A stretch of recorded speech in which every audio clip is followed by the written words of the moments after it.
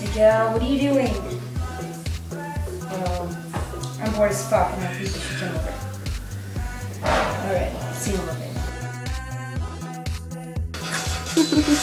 bit.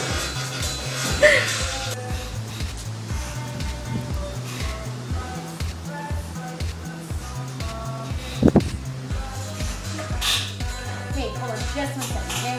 Hold on.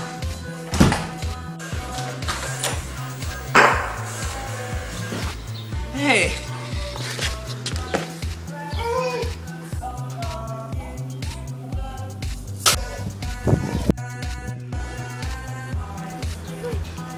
Ah. Why'd you do that? Thank you.